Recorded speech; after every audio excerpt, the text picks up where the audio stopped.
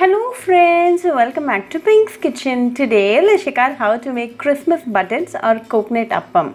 Very healthy snack recipe and it's very easy to make. So let's quickly check out the ingredients and get started. To a mixing bowl, add 1 cup of maida or all-purpose flour, half cup of sugar, quarter teaspoon of cardamom powder and a pinch of baking soda.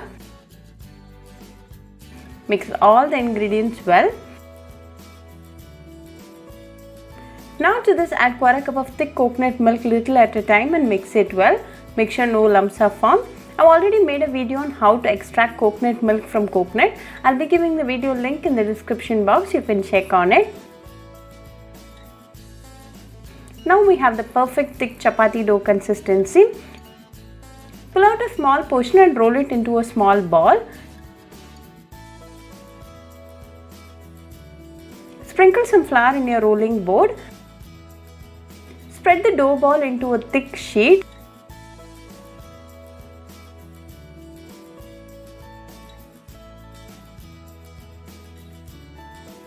Now using a mold or a bottle lid, make round cuts like this.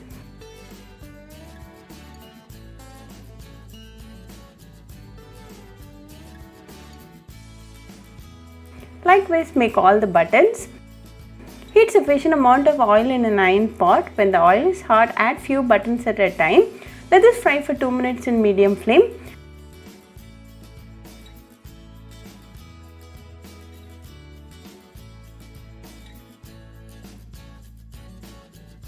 After 2 minutes, flip it to the other side and let this again fry for 2 more minutes.